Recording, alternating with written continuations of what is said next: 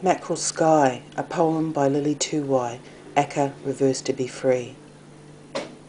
Magnificent mackerel sky melts my melancholy a matching blue.